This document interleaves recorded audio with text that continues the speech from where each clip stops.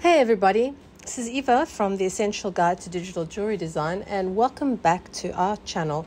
Um, if you're watching today, uh, we are going to go through a uh, exercise to make a tri-stone twist ring. Three big stones, a middle big center stone with two side stones, and a shank that's got a little twist in it with four claws on each stone. Okay, should we get started? I'm going to go fetch my curve circle curve tool and in my front viewport I'm going to use my zero point as my center. And in my command uh, command prompt line I'm going to click on circumference and back in my front viewport with my mouse I'm going to type in 54 if you don't do that it'll create the circle in a different view. So here we go. Got our ring size. Next thing we're going to do is we are going to make an offset of that curve and I'm going to do that in my curves layer. I'm going to go over to my curves layer. I'm going to use the offset curve and I am going to use a distance of 1 to start with. Actually, mm, yeah, 1 is good. And I'm going to make another one for 2 um, from the original ring. There we go. So we got 1, 2 millimeters here, offset curves. Okay, next thing we're going to do is we're going to head up over to Grasshopper Gold. I've got it up here in my in my dock and I'm going to use in the jewelry setting the choose stone uh, command which is going to open Grasshopper so you've got to give it a little moment.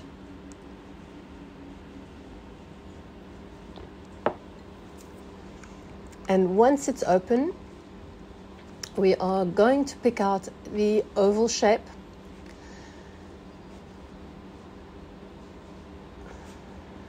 Here it comes. There we go. So, oval shape, and I'm going to use the size 8 and 8 by 6. So, we'll create that one. And then my side stones are going to be each 7 5 and create that too. Just need to create one of those. We're just going to mirror the other one over. So let's lift both these stones up. And I'm going to place the stone exactly with a point on the mm, one millimeter offset curve. So when I was one millimeter away from the, the, the finger. And the side stones we are going to turn. I'm just going to bring it down as well. So, so, so one millimeter away. And we're going to relocate our gumball by clicking on this little white circle in the gumball.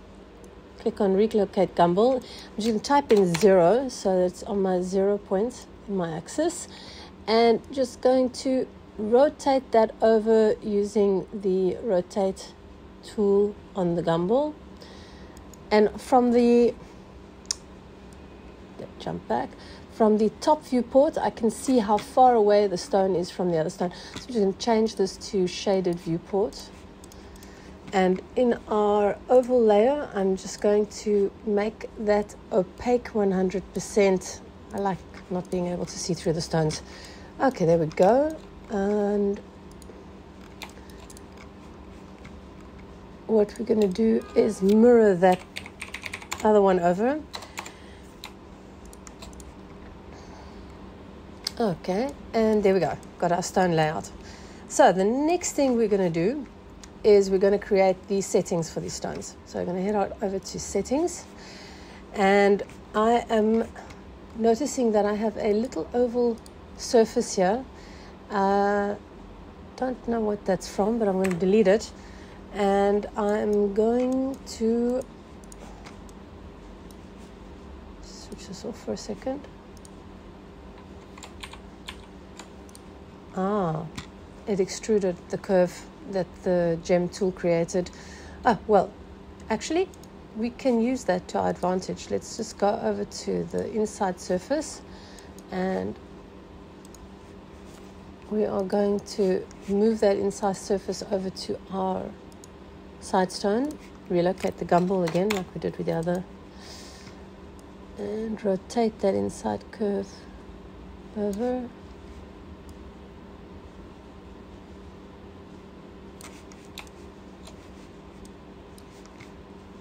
Move it up to the side. Okay. And why am I doing this? Well, I'm going to mirror that over to the other side as well.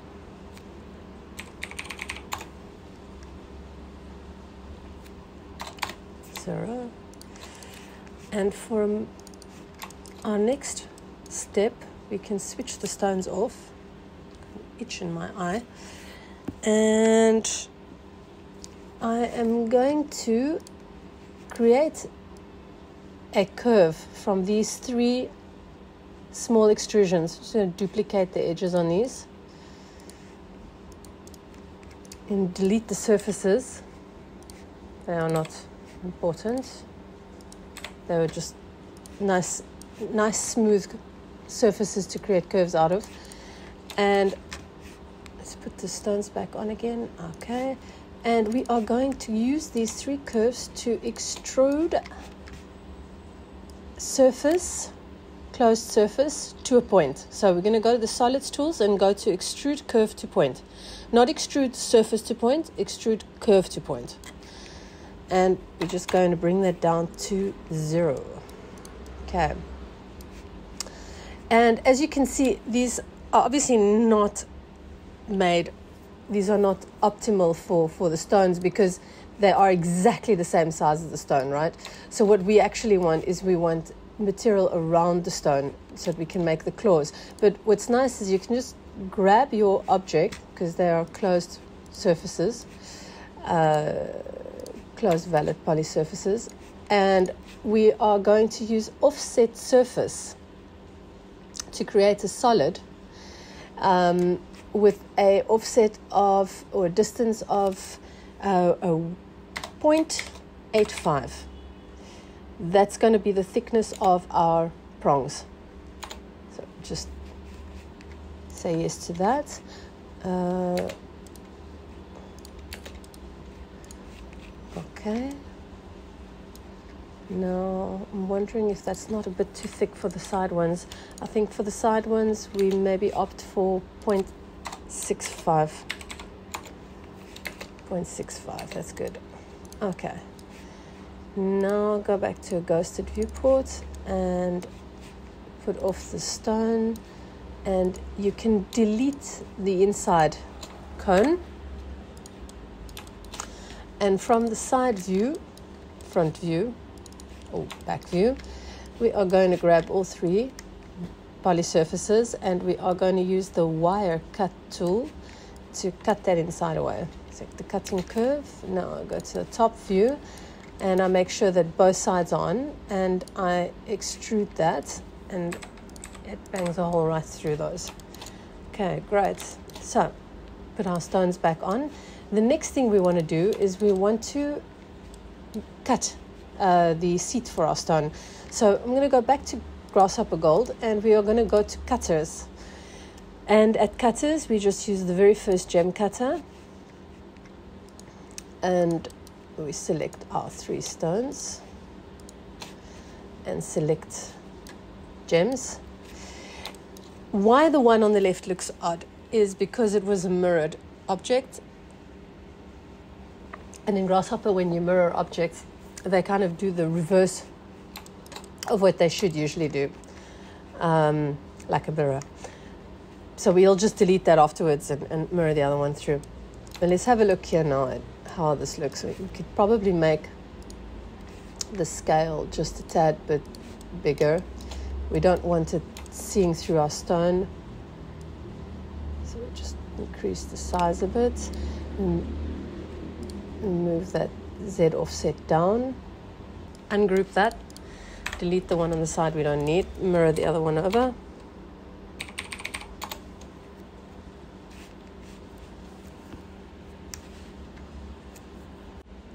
Just going to mirror the other one over, so from the zero point,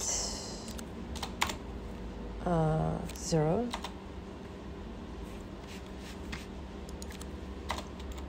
Okay.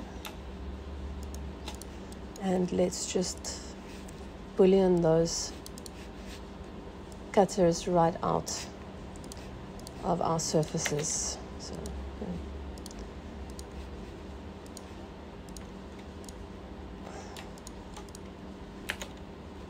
Okay, I'm to go back into shaded viewport. There we go, got the hole. There we go. Uh, let's just switch the stone off for a second. I'm also going to turn the opacity up to 100 for the cutters. And what I'm going to do here to open that up a little bit is I'm going to both chamfer the inside edge of the setting and then I'm going to fillet the outside edge for a smooth finish. So one is too big and to change all of these I'll just go up to my command line and set all and I'm going to set those all to 0.3.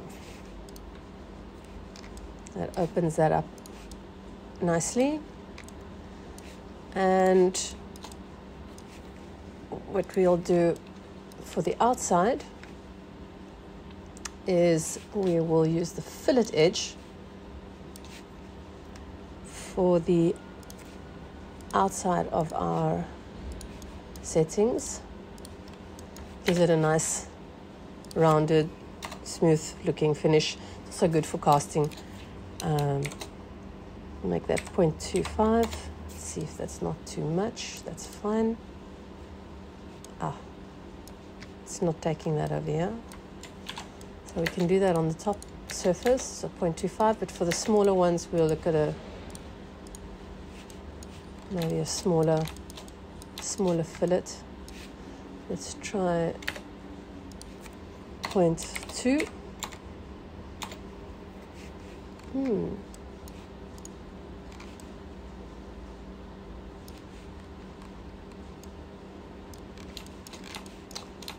That's curious. Why is that happening?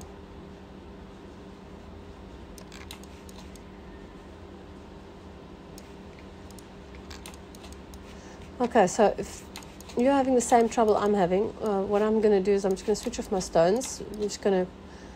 Ah, that's why. Because there is a, a cut for the stone. Okay, so let's go back. We're going to fillet this one using a smaller fillet radius. we'll use 0.15 and there we go. Okay great. So next step. We are going to create the cutter tools that will create the, the, the, the, the prongs for our for our stones and in order to do that um, what I'm going to do because I'm going to make those by hand uh, instead of using the grasshopper gold tool I am going to create a rectangle from my front viewport using the width of the table of my stone. So I'm just going to click the width of the table of my stone and I'm going to use my offset curve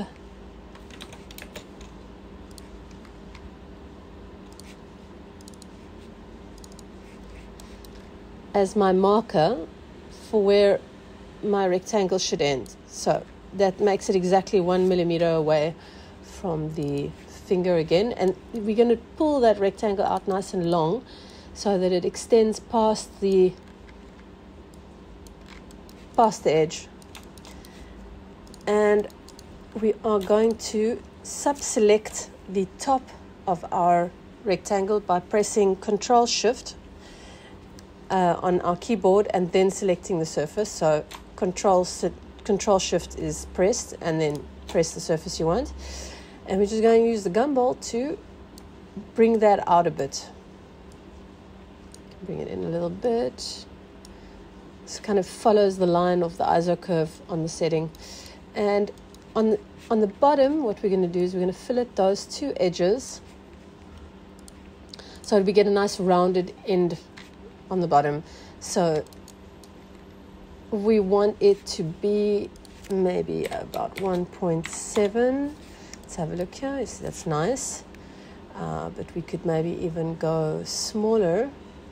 So um, could also surface select the bottom surface and just pull that in, see if that works. Yep, that's working. Okay, okay, that's looking good. And then the last thing we're going to do here is we are going to make this a bit longer, bring it up. And before we do anything more with this, we're going to make a copy of it in the perpendicular direction. So we're going to press on Alt in our top viewport. We're going to press on Alt and click on our arc on our gumball, and we're going to punch in 90. And you'll see you now have a copy in the opposite direction. Just going to extrude that out in the X direction. And then in the side view, we are going to use our transform bend tool and the center of our object as our start of our spine. Click in the center. We're just going to switch off our O snaps down here and using your shift and pulling out to one side can be left or can be right. Uh, just pull out a, a line. Don't extend past the extrusion. Stay within the extrusion around about to the end of the setting. And now ooh, you see something's not happening on both sides, only on one side. We're going to go up to our command line. We're just going to put symmetric on yes. Now you see both sides are, are, are dipping down, bending. We just click it like that, and we've got a little channel for our one direction. We can make that a bit narrower, make it even a bit narrower than that. Yeah and with this uh, with the original cutter what we're going to still do is go to transform cage edit. And we're going to use a bounding box control object. We're going to use the world as our coordinate system. And where we have our x y z count, uh, point count we are going to go to the y and change that to 6 and the rest can stay as is. And just press enter. And uh, you have global region. And now you have your little cage edit box. Selecting the inside points just the inside points. We're going to bring that in you know, pinch that in. Start having this kind of uh, uh, uh um, pinched object in the center. Um, you can flare out the outside a bit, the outside points, and I would even dare to say could do the same for the points just beyond that. Yeah, that's good. Okay. And we are going to rotate that object using the same format that we used for, for the um, stones and the settings on the side. We're going to just relocate that gumball to the zero axis and press Alt and hold on that arc and just rotate that object downwards. And you'll see that center line. You want it on that center line of the setting. So now when we look at it from the top, it should be in the center of the stone. But, but we're not finished yet. We also want to scale this down. So what we're going to do is we're going to scale it both lengthwise and sidewise, but don't scale the depth. Don't scale the depth because you want that one millimeter along the bottom to stay consistent. So there you go. That should be sufficient. That should be sufficient to create the claw. So now let's go back to mirror again. Oh, what am I doing? Enter, zero. And Next thing we're going to do is cut these cutters, boolean difference them out of our settings. So select your settings. First, we're going to do the center. Uh, try that again. And center. Okay. And the same with the the lengthwise.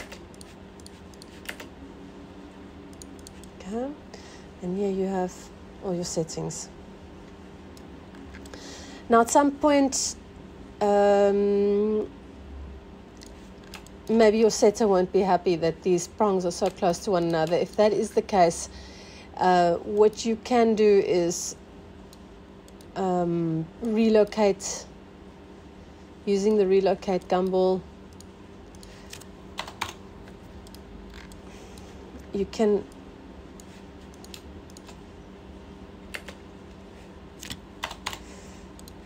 rotate that setting out a little bit to the side.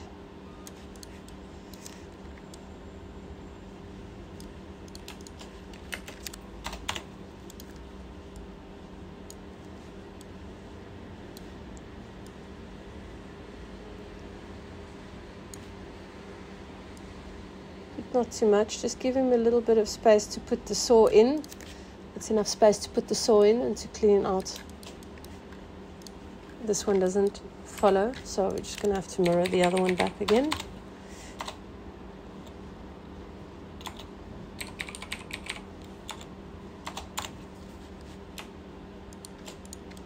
There we go. Okay great. And there should be enough material underneath them as well. So let's just switch off our stones and have a look at what's happening inside. It looks clean. And let's make sure yeah stones have got a nice seat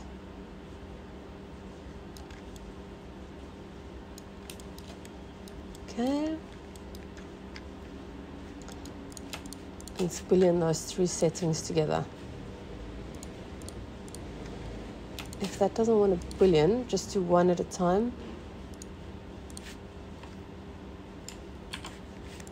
Ah, so let's have a look here. There must be a problem with this. You just got to analyze edge tools, show edges. And we want to see all our naked edges. There's nothing wrong. So what is it that's causing this problem? I suspect it's these manifold edges. Uh, so we're just going to lift that by 0 0.001. 0 0.01, there we go. And now it should do the, the boolean without a problem. There we go. So if ever you have problems trying to boolean things together and it's because they are almost entirely overlapping on the same surface that's manifold, you just nudge your object by a hair of a millimeter and, and that should uh, take care of the problem. Okay, so now next step, we are going to extrude the ring size curve just beyond the settings. Um, and with that, and this is not a surface, we want no surface here. With that surface,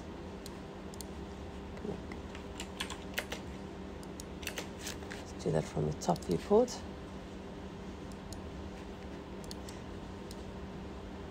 Ah.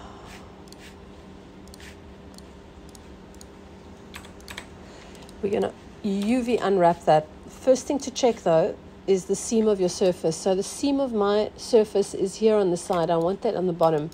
So we're just going to rotate this object by 90 and you see the arrows are already in the right direction. And now our seam should be, wait a second. Yeah, seam is at the bottom now. Okay, goody goody. So let's unwrap that. So we're going to go over to UV uh, surfaces from uh, uh, curves from surfaces and go to create UV curves and press enter. And now we have our surface UV uh, curve. We're going to fill that in with a surface from planar curves. And what we're going to do with that is we are going to take our stones and our settings and we are going to flow those along that surface. We go to our deformation tools under our move tools and we click on flow along surface.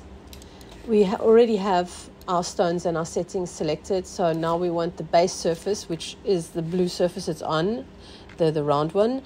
And we're going to click on this corner over here, which coincides with exactly this corner here on our target surface. And we should have the settings and stones in the middle after that, as you can see. Okay, and this is going to be our template to create the twisted shank that we are then going to flow back along the surface. So, for a, for a moment now, we can just head on over to what we've done here and hide that. Um, hope you're still following along with me. I'm trying to make this as short and painless tutorial as possible. Um, I realize it might be a bit fast. Um, so, what we've got here. We are going to use the side of this setting um, to create and what I'm going to do is show you this.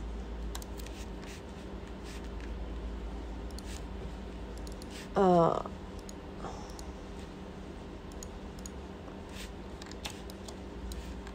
you can see how the side of the setting actually comes out of this uh, out of one of the claws on the side and then you have the twist in the shank.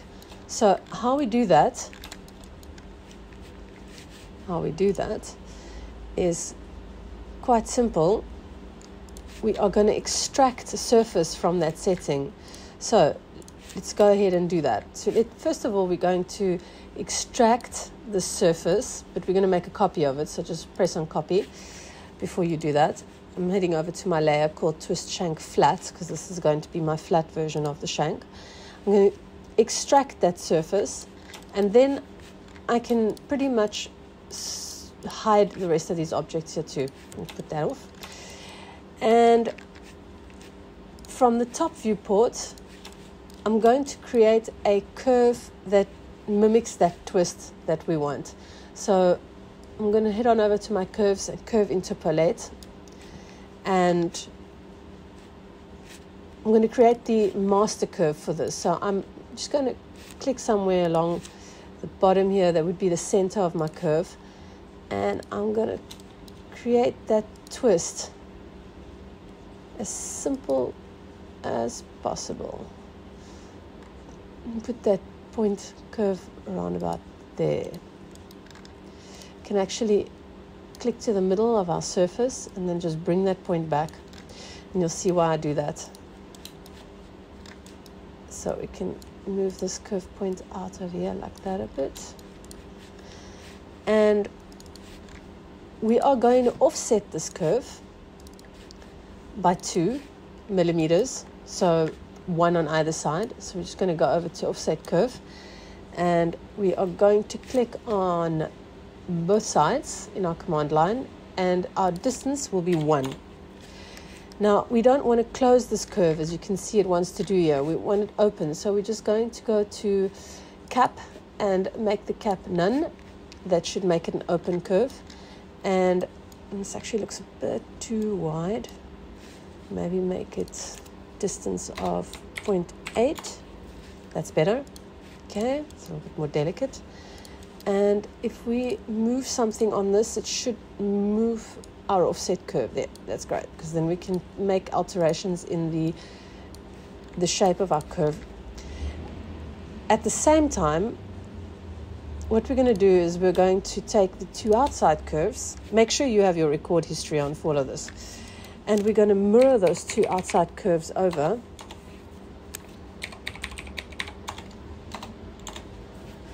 so that we have a ah no I need a different middle point.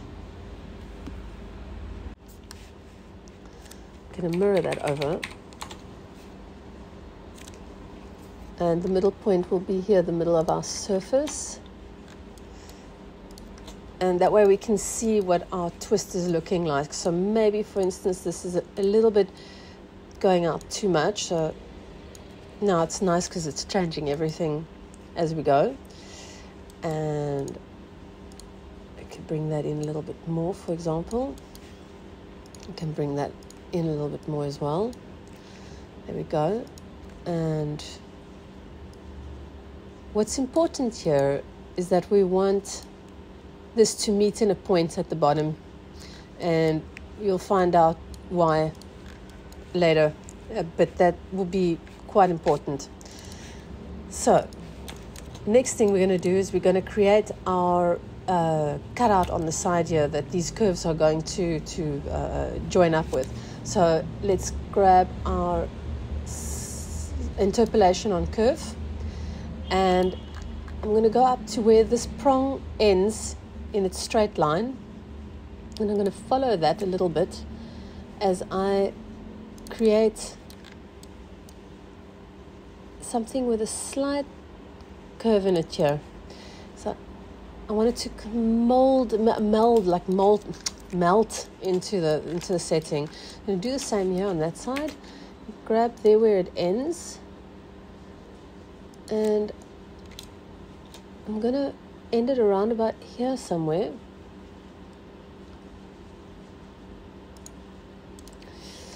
And then what we're to do is where's the end of our curve?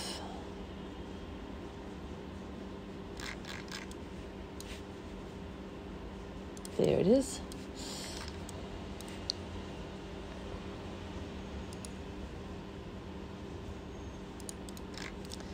Okay, that'll make sense soon enough, you'll see. So, what we can do is we can literally split the surface with these curves, these three curves, and we can get rid of the rest. Okay, and what's left of this we are going to duplicate the edges of. So let's go ahead and duplicate the edges that we haven't got yet. The rest is made up of curves already. And if we delete this now, we will have a profile curve. And uh, uh, we don't want that yet. We want to keep that Actually, we can delete that because we still got the original. Um, and we are going to join this into four separate curves. So we've got the two side curves and we have the top and bottom curves.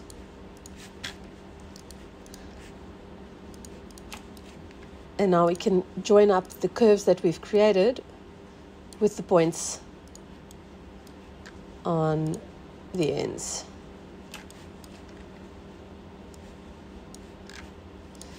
And if that doesn't look good, it's because when you make an offset, it adds more points. And just delete a couple of curves here to give it a smoother look.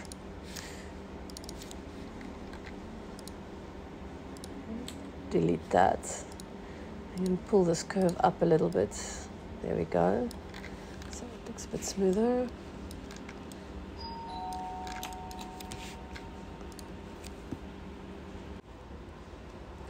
So now that we've got that end sorted out, we are going to create another profile curve on the other end. What we want to do first is we want to join these two two curves together on the midsection of our, our surface, just like that. And and we're going to trim these two, or actually we could just use the the, the, the, first one and delete a few points and then move those points together by also bringing that into the into the center. So let's just have a look here.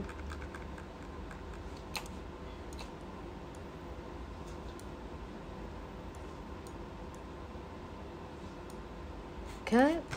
And here we are going to create a profile curve in the middle here. And it's going to start out as a square. So we're just going to take the rectangle curve tool and we're going to create the curve around a curve. Choose that center curve and just snap on the endpoint. And we're going to make this a 2 by 2 millimeter square. And you can see it's, it's rotated perpendicular to our curve. Uh, what we're going to do as well is we're going to explode this. And the top and the and the bottom actually no we'll leave the bottom flat. But the top we are going to rebuild using our rebuild curve, curve command with four points. And we're just going to lift those top four points up a bit to create a rounded profile on top. And now we can we can join that up again. Actually no um, scrap that. Don't join it. You've got four separate curves here. Actually what's going to happen is um, we are going to use these curves along with these curves to create uh, single surfaces that we're going to join. So what we want to do here is we want to bring these two curves up.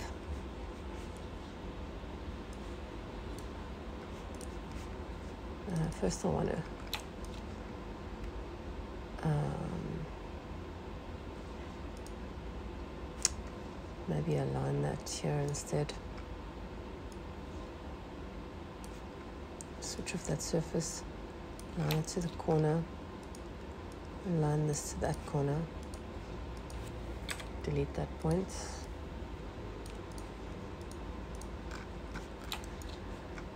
Uh, and then copy these two curves up. Just select them, go to your move tool or your copy tool and bring them up to the corners of your profile curve. And on the other side, we are going to move that up into the corner so that it's on it's on the other two two curves.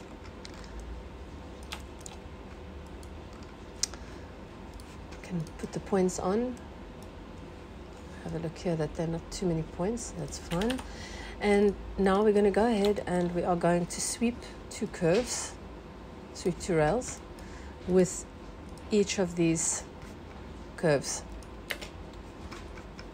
Okay. Uh, and again for the side here and the same for the bottom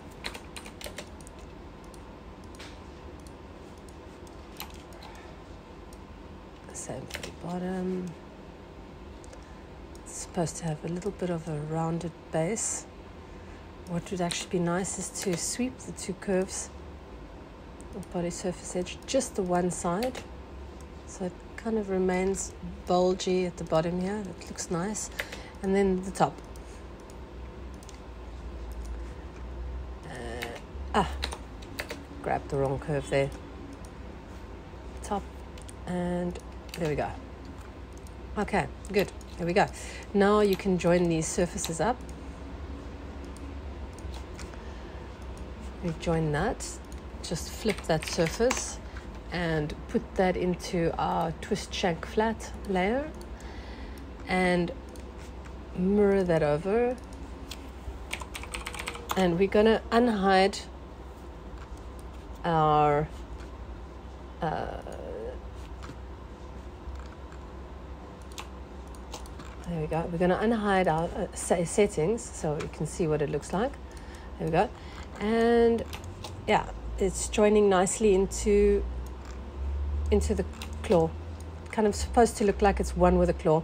In fact, what we want to do here is, is one of the surfaces, and I'm going to take the one that was copied so that um, if I make changes to it, it won't make the other one change. I'm just going to grab my cage edit tool, uh, bounding box, world's coordinate system, and just leave the points on as is.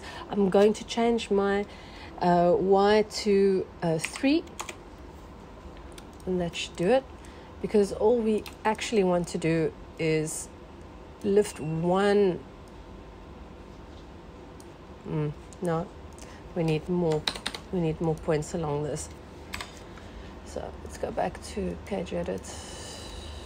Select captive object bounding box world coordinate system and what we want is more points along our x-axis. So let's just change that to so 7 uh, so I don't want to disturb this setup on the end here.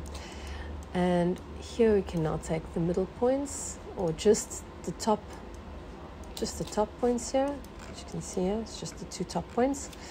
And just pull them out a bit so that there's a bit of an overlap. There we go. That's good. Okay. And on this end what's going to happen is we're going to cut these two pieces. There where they intersect just be sure when you use that cutting plane that it doesn't go all the way through your twist object. So let's take those two objects and trim them. The part's gone. And we are going to join this. And you'll see what we will do later with this bottom piece and how we're going to join that up on the ring eventually. Okay so now what we're going to do is we're going to flow this back onto the surface. Uh, just one more thing I want to do before I do that. Um, I want to close it. So on this end I'm just going to extract the outside surface, just that outside surface, and can put this off again. And we're going to trim that surface because if we switch this off, you'll see these are open poly surfaces on there on this end. So what we're going to do is we're going to trim that surface with this object so that we can close it up. If it's not working on the other side, just do a, a curve from surface and use an object intersection. And you can see immediately where it's not joining or where it's not pushing through.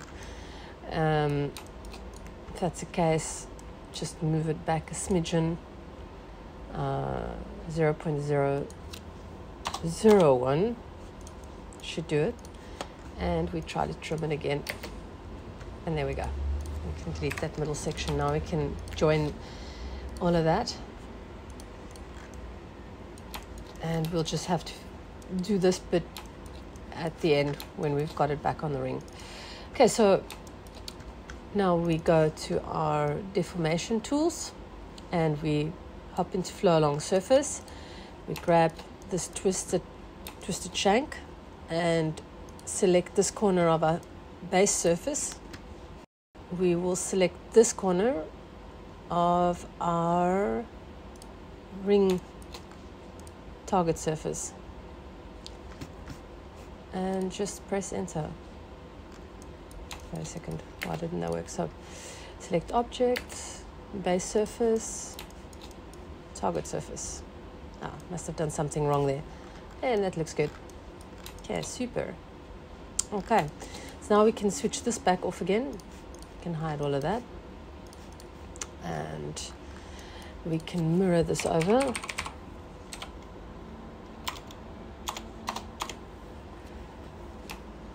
The other side.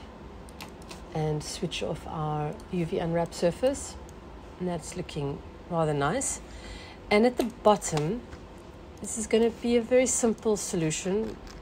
We are just going to zoom onto the extents on all our windows. And at the bottom, what I'm going to do is I'm going to create a cut plane.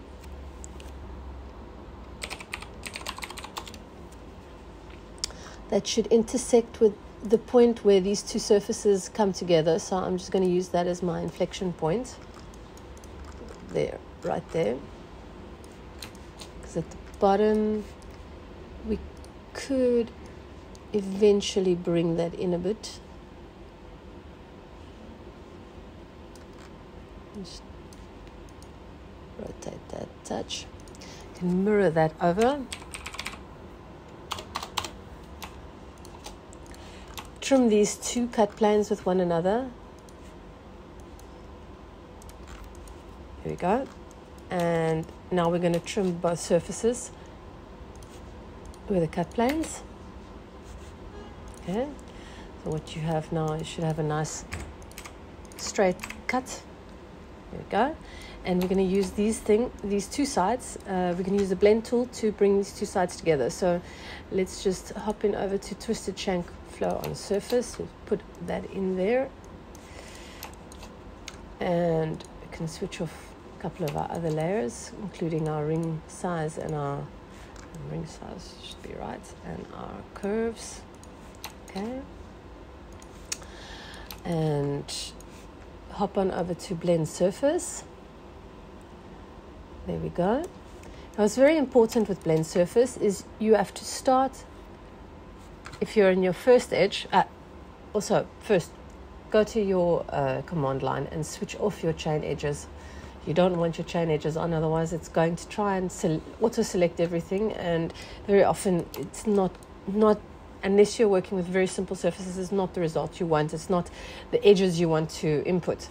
So we're going to start by selecting the segments for our first edge, and we have to do it in the right row, right order. Uh, so if I start here on the top surface of the right-hand side of the shank, then when I go to my second edge, I will have to start at the same point and do the same uh, con- uh, uh, uh um, clockwise or anti-clockwise direction as I did for the first edge. So we're going to go clockwise here and select our edges. If it's doing that, it means that there's one little edge here that it's not seeing. Ah, that's why. Because we have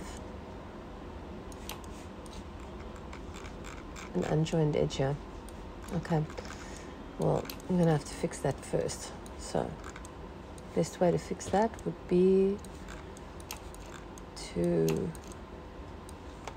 do a sweep on two rails use top and bottom edge okay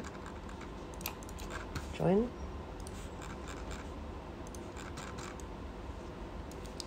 so that's because I did not work precise that's my punishment for not being precise enough. And I mean that sincerely. It always pays to be very, very precise when you are modeling from the beginning. Otherwise, you can go back and restart everything on enormous projects and can be very annoying and time consuming. So that wasn't too hard. Uh, so we are just going to go back to blend edge, blend surface, start again, and and I didn't do the chain edges so chain edges off now I can select the first edges now because I got this tiny little surface here I have to select it too and go around there we go. Now you'll see it says select segment for second edge in the command line. So I have to start at the same edge and choose the same direction. So we do that again with the tiny little surface. Bad, Eva. Very bad.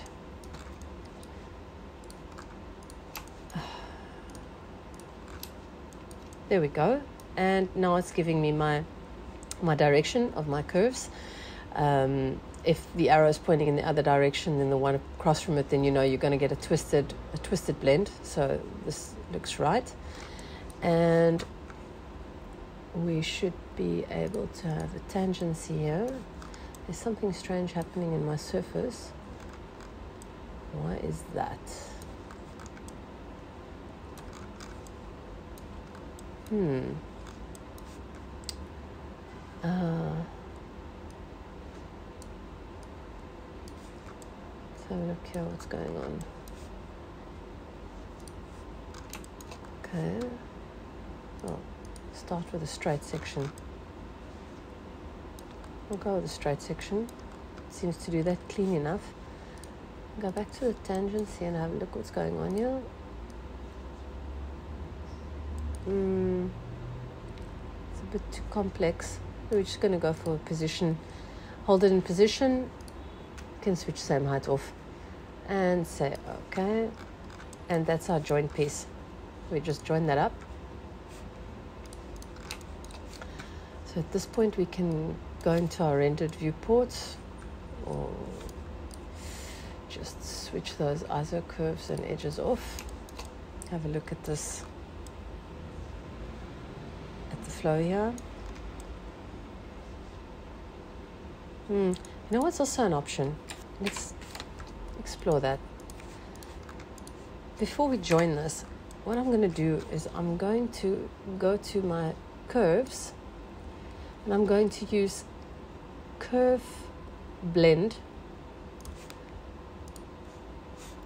switch our curves back on again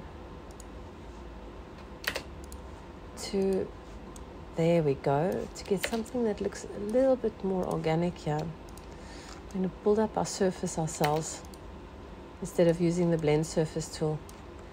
The blend surface tool is not always the solution for everything. And you can switch the, the ring size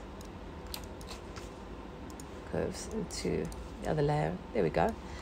And what we'll do is we will just duplicate the edges duplicate the borders of these surfaces. There we go. And we will split those using the four curves we created. And now we're going to use sweep two rails to create our shank. There we go. That looks much better. I started with the side of the ring. Okay. And then the same on top. You can use the surface edges at least it will run along the tangency that's much nicer surface edge and surface edge on the last edge okay and let's join that up